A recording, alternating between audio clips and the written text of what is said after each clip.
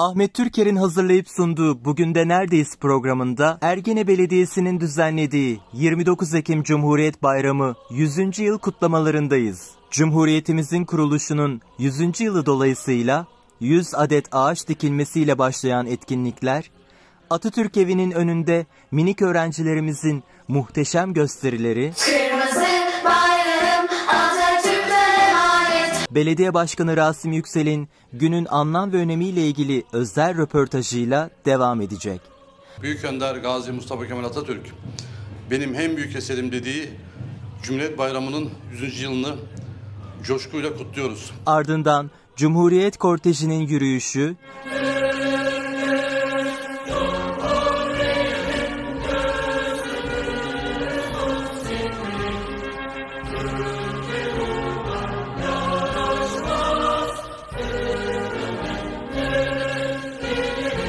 Yüzüncü yıl meşale ateşinin yakılmasıyla geceye damgasını vuran Alagöz Kültür Sanat Dans grubunun muhteşem gösterileri,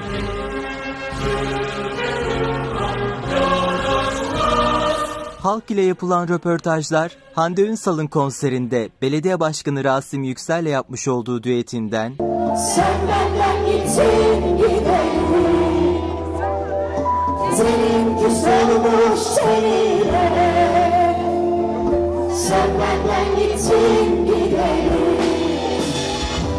Fener alayına kadar geceye katılanların doyasıya eğlendiği bu programı 31 Ekim Salı saat 20'den itibaren Tekrümeli televizyon ekranlarından izleyebilirsiniz. Sakın kaçırmayın.